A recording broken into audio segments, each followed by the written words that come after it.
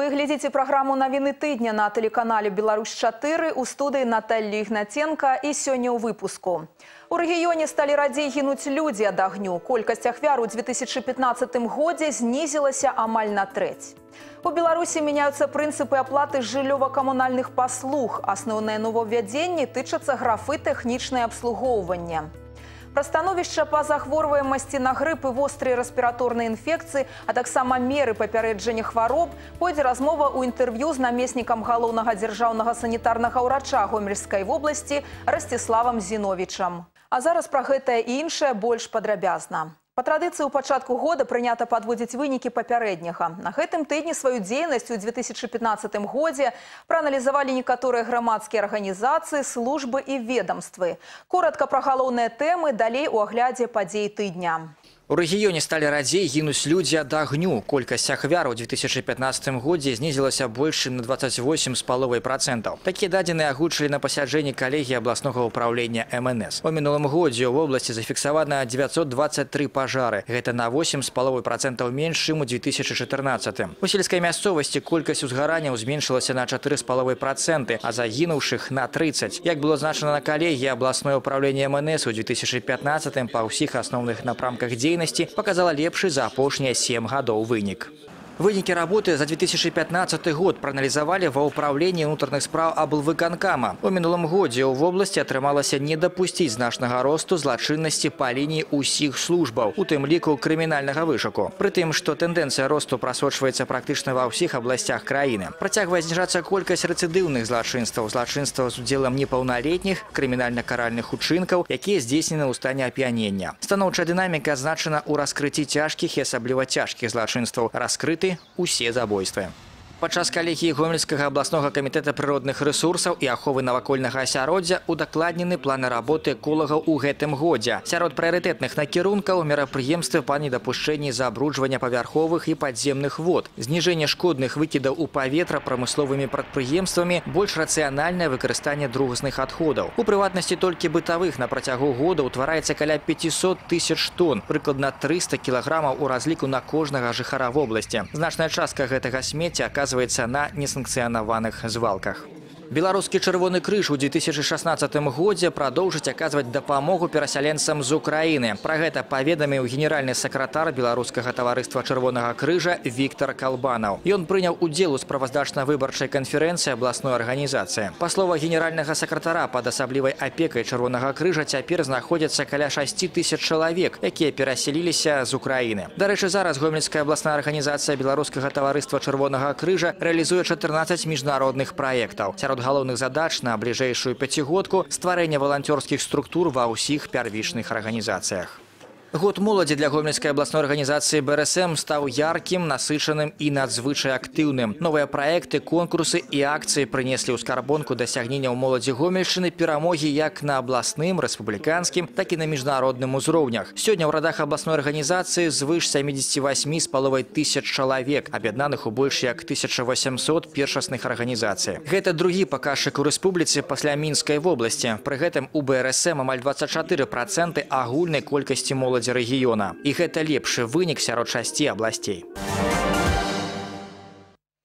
У Беларусі меняются прынцыпы аплаты жыллёва-камунальных паслуг. Асноўныя новаўвядзенні тычацца графы тэхнічнае абслугоўванне.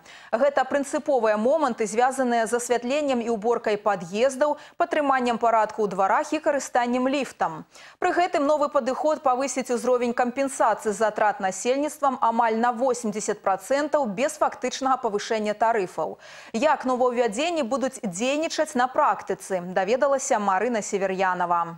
З пераліку работ, прапісаных у графе тэхнічнае абслугоўванне, некаторыя, згодна з указам нумар 535, будуць выключаны. Напрыклад, уборка двароў, рамонт пакрыццяў праездаў і праходаў, догляд за зялёнымі насаджэннямі – усё гэта аплоціць мясцовы бюджэт. А вось уборка пад'ездаў ужо за кошт насельніцтва. І тут жыльцы змогуць выбіраць, самім прыбірацца і такім чынам эканоміць грошы, ці ўсё ж такі пакінуць гэтую працу дворніку. У любым выпадку гэта прымусіць жыхароў назіраць за чысцінёй у подъезде, не псовать его и не засмечивать. Здесь могут быть различные варианты. Или граждане сами могут даже убирать подъезды, или э, нанимать какого-то ну, человека, который это будет производить. Но а, это должно быть 100% все, согласие всех жильцов дома. Если же а, ну, придет контролирующий орган в лице санстанции, к примеру, увидит, что должным образом не соблюдаются данные требования, то, безусловно, будет заключен договор и убирать подъезды будет жилищно-коммунальное предприятие, которое находится в данном районе.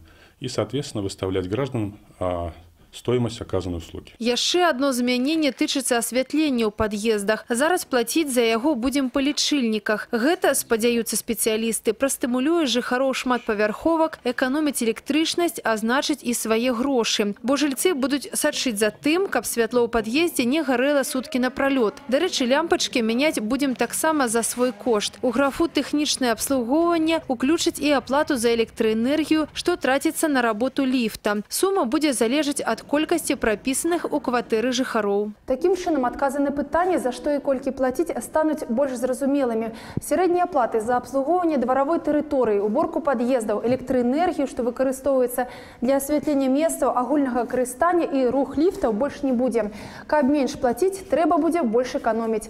Напрыклад, устанавіць датчыкі, якія рэагуюць на рух і карыстацца энергазберагаючымі лямпачкамі. Выкананне яшчэ аднаго новага указу нумар 536 ёсць зробіць больш жорсткім выбар старшынь таварыстваў уласнікаў павысяцца патрабаванні да іх дзейнасці адукацыі а фінансавыя адносіны ў гэтых арганізацыях стануць больш празрыстымі в течение шести месяцев все председатели должны будут соответствовать нормам данного указа. То есть у них есть время для того, чтобы пройти обучающие курсы, для того, чтобы получить образование соответствующее или выбрать другую кандидатуру. По словах специалистов, актуальное з'явлення нового указу обумовлено яшчэ і тым, што ў апошнія гады ў гомельскай вобласці значна ўзрасла колькасць таварыстваў уласнікаў. Калі ў 2010 годзе іх было каля 70, то летась ужо звыш 1300.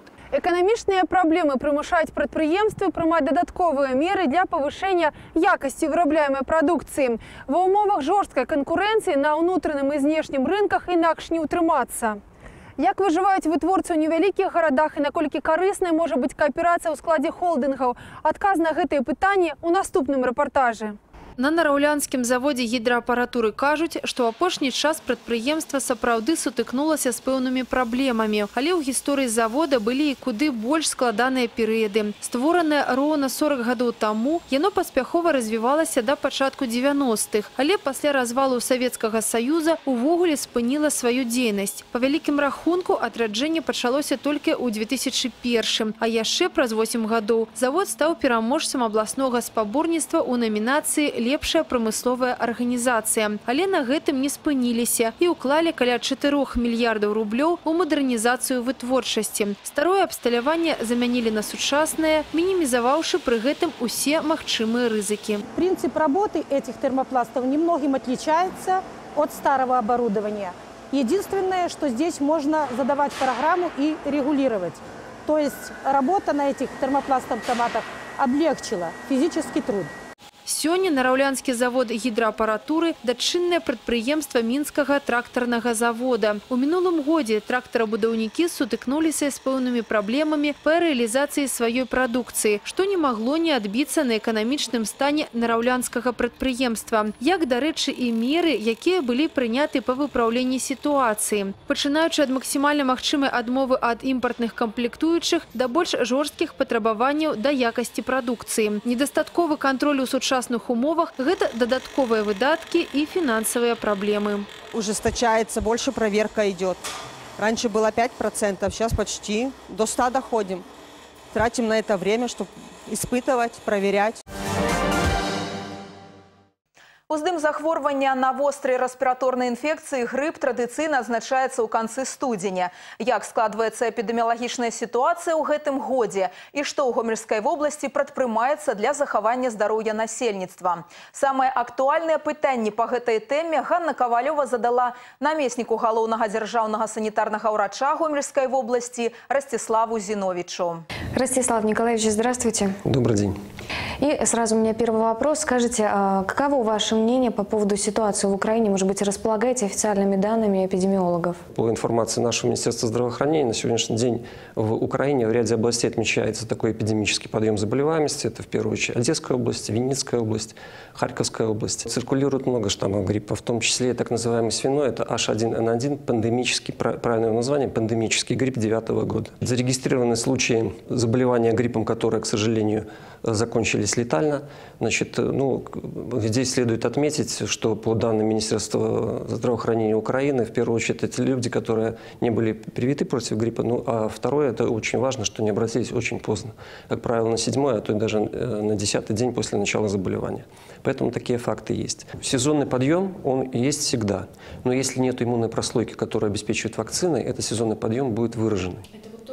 Мы сейчас видим в Украине, да. Россия, кстати, там у них привито где-то порядка 20 процентов населения, может 25, вот по разным регионам. Просто там каждый регион финансирует по-своему.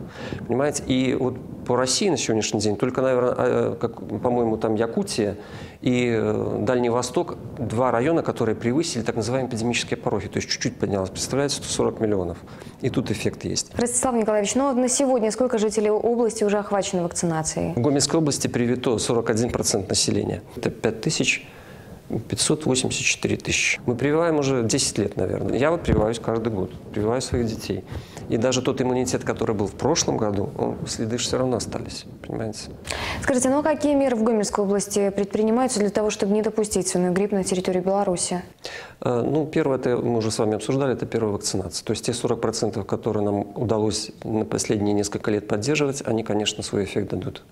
Второй момент – это вопросы организационные. Это касается и доступности медицинской помощи, и вопрос обеспеченности рентгенологической пленкой, это вопрос обеспеченности препаратами, это вопрос обеспеченности, если необходимо, э, эффективной работы аппаратов искусственного дыхания. Значит, э, режим работы, если необходимо, будут привлечены дополнительные силы из числа студентов мединститута для обслуживания больных на дому. Сотрудники, которые находятся на вокзале, в частности железнодорожном, это сотрудники санитарно-карантинного пункта. И в первую очередь их задача выявления вообще любого инфекционного заболевания, в том числе, если касается и какого-то и гриппа, и это может быть совершенно другое заболевание. Здесь мы мы, уверены, я вам скажу, что такого подъема не будет. Не будет подъема. Скажите, а вакцина, которая рассчитана на защиту от э, обычного гриппа, от ОРВИ, она сможет защитить и от свиного гриппа? Да, эта вакцина содержит штамм пандемического или свиного гриппа, который циркулирует вот на европейском регионе. Ну а кроме вакцинации, как еще можно укрепить э, иммунитет, как защитить его от различных вирусов, от ОРВИ? Вот что вы посоветуете? Это в первую очередь вакцинация. Второй момент – неспецифические средства профилактики. Они есть. Первое – это можно выделить медикаментозные. Они уже известны давно, много, э, на протяжении многих лет используются. Это тот же арбидол, арпитол, гурон приносил, э, значит, ремонтадин. Эти э, препараты необходимо применять, они на сегодняшний день в аптеках есть, в соответствии с той схемой, которая к ним прилагается. Там есть как схема для профилактики, так схема есть и для лечения, допустим, первые часы или первые сутки, если вдруг человек заболел. Конечно, избегать э, каких-то массовых мероприятий, в первую очередь, с детьми. Особенно вот сезон, когда начинается подъем заболеваемости, это конец января, начало февраля. Побольше бывать на свежем воздухе. Не забывать, даже несмотря на то, что на улице морозы, проветривать помещение, особенно если какие-то проходят массовые мероприятия, совещания, значит, или какие-то, э, может быть, подвижные игры, то есть с тем, чтобы э, воздух был в помещении всегда свежий. Э, не забывать просто физическая нагрузка. Это однозначно повышение иммунитета. Ну, не забывать такие вещи, как поливитамины витамин С конкретно. Очень много на сегодняшний день различных вариантов, значит, различных комплексных витаминов с различными добавками. Здесь это только можно приветствовать, особенно сейчас там тоже соответствие схемы, которые они применяются. Ну и самая главная рекомендация, наверное, если все-таки человек заболел, то, во-первых, он не должен идти в коллектив, на работу. Не надо вести ребенка в организованный коллектив с тем, чтобы предупредить э, от заболевания коллег и других людей. Э, второй момент, в обязательном порядке надо обратиться за медицинской помощью. Для того, чтобы можно было человека вовремя обследовать, назначить необходимое лечение, ну и с тем, чтобы предупредить осложнения. Вот это основные такие простые вещи, но э, их надо помнить и соблюдать. Ну что ж, Ростислав Николаевич, огромное вам спасибо за интервью. Пожалуйста, ну, берегите себя, своих близких, будьте здоровы. А зараз да навінаў культурнага жыцця гомельшчыны. Прэзентацыя мастацкага календара, прысвечанага 80годдзю з дня нараджэння заслужанага дзеяча мастацтва ў Рэспублікі Беларусь Роберта Ландарскага. Адкрыццё выстаў долары свету і жывыя драконы. Прэм'ера спектакля ці спяваюць эльфы. Пра гэта, а таксама многае іншае цікавае і відовішнае, што трапіла ў аб'ектывы нашых тэлекамер за апошнія сем дзён, раскажа Вераніка Варашыліна. На гэтым тыдні ў гомелі адбыўся заключны этап трэцяга абласнога конкурсу сярод навучэнцаў і работнікаў устаноў прафесійна-тэхнічнай і сярэдняй спецыяльнай адукацыі спадчына. Сёлета творчае спаборніцтва было накіравана не толькі на патрыятычнае выхаванне моладзі, але і папулярызацыю роднай беларускай культуры, яе традыцый і нацыянальных асаблівасцяў.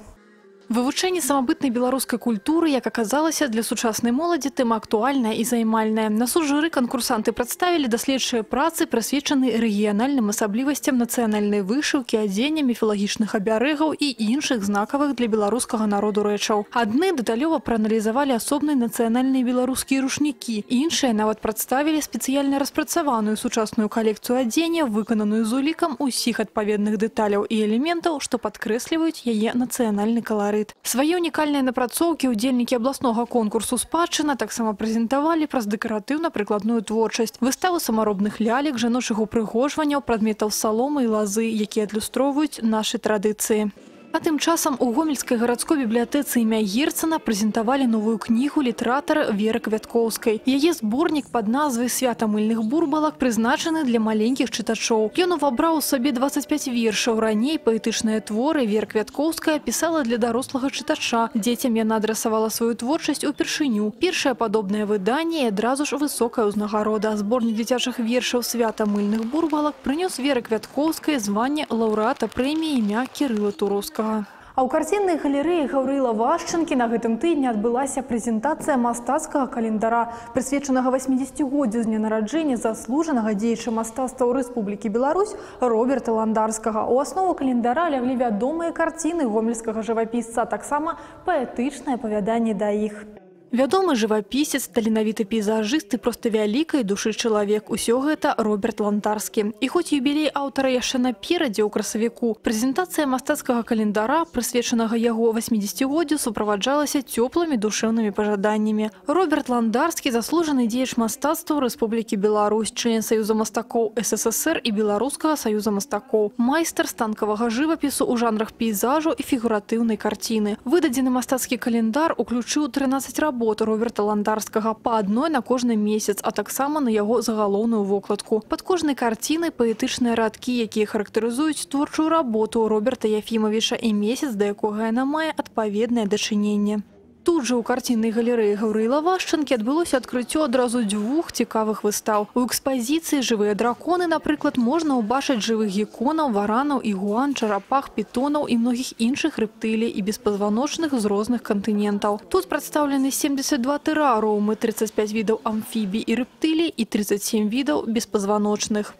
А тым часам у экспазіцыі долары свету можна пазнаёміцца як з сапраўднымі купюрамі, так і банкнотамі неіснуючых дзяржаў. Напрыклад, валюта неіснуючая дзяржава Антарктыда. Гэтыя долары не з'яўляюцца плацёжным сродкам, але карыстаюцца вялікім попытам у калекцыянераў. Сярод самых незвычайных долараў па колькасці нулёў у намінале валюта Зімбабве. Тут таксама прадстаўлены кітайскія рытуальныя долары, якія спальваюць у спецыяльных печах пры пахаванні памерлых, ёсць сувенірныя і гумарыстычныя долары. Усяго у экспазіцыі каля каля 270 банкнот са сваім афармленнем і дызайнам. А ў гомельскім абласным драматычным тэатры адбылася прэм'ера спектакля, прысвечанага праблемам сучаснай моладзі ці спяваюць эльфы. У культурнай установе да сустрэчы з гледачамі падышлі з крэатывам. Тэатралаў тут сустракалі эльфы, міфалагічныя героі, якія з'яўляюцца духамі лесу і дружалюбнымі ў адносінах да чалавека. Наведвальнікам драмтэатра яны дарылі прыемныя салодкія падарункі і фатаграфаваліся з усімі жадаючымі. Асновай для пастаноўкі ці спяваюць эльфы стаў сцэнарый маладога, але вельмі запатрабаванага расійскага драма драматурга Ярославы Пулінович «Як я стаў». На гомельскай сцэне сваё бачанне гэтай нашумелай гісторыі аб цяжкавырашальным выбары, душэўных сумневах і каханні прадставіла пачынаючы мінскі рэжысёр, нядаўняя выпускніца Беларускай дзяржаўнай акадэміі мастацтваў Дар'я Марчанка. Наступны тыдзень абяцае быць не менш багатым на культурныя падзеі. У музеі фатаграфіі горада Гомеля, напрыклад, запланавана адкрыццё выставы,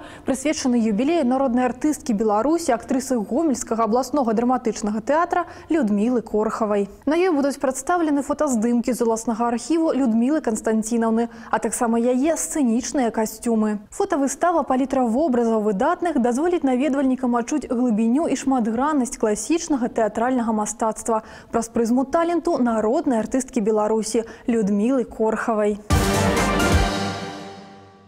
І аб спорце. Для каманд з Гомельскай вобласці будучы тыдзень будзе насычаным на прынцыповыя паядынкі ў нацыянальных чэмпіянатах. На наступных выхадных адбудзецца чарговы тур у жаночым валейбольным першынстве. Мазырская жамчужына Палесе ў гасцях двойчы згуляе з суседам па турнірнай табліцы і баранавіцкім атлантам.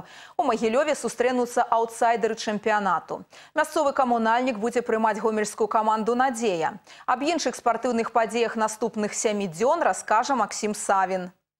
Чарговае палескае дэрбі чакае аматараў хакея. Гомелі жлобінскі металург згуляюць паміж сабой двойчы. У аўторак 26 студзеня ў Гомелі, а праз два дні ў жлобіне. Матчы паміж вогненнымі рысямі і сталёвымі ваўкамі ў экстралізе нацыянальнага чэмпіянату праходзяць вельмі напружана і цікава. На лёт адзін супраць аднаго каманды выходзілі чатыры разы. Тры перамогі на рахунку гамяльчан. Адзін раз вікторыю святкавалі жлобінскія хакеісты. Прычын для выяўлення пераможцы ў трох сустрэчах асноўнага часу не хапіла. Двойчы гульні завяршаліся ў овертайме. Аднойчы справа дайшла да булітаў. Будзем спадзявацца, што на будучым тыдні каманды апраўдаюць усе чаканні.